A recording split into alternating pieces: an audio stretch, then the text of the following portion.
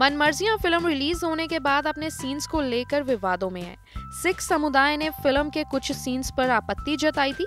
आपत्ति के बाद निर्माताओं ने तीन सीन भी हटाने का फैसला लिया था। इनमें से एक सीन में तापसी को गुरुद्वारे के बाहर सिगरेट पीते हुए दिखाया गया था। इसी सीन को लेकर ट्रोल हो रही तापसी ने अब ट्वीट कर जवाब दिया है। तापसी ने गुरुद्वारों के बाहर फुल ड्रग टेस्ट की मांग की है।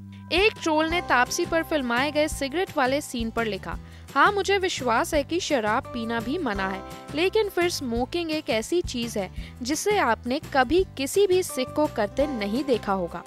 तापसी ने इसके जवाब में लिखा, मुझे यकीन है कि वाहे गुरु ने शराब पीने की अनुमति दी होगी, लेकिन स्मोकिंग करने की नहीं, वरना इतने समझदार, पवित्र और धार्मिक लोग विरोध क्यों करते? कुल मिलाकर एक मिनट इकतालीस सेकंड के अलग अलग विजुअल्स को डिलीट कर दिया गया है। बताते चले कि इन सीन्स पर सिख समुदाय ने आपत्ति की थी।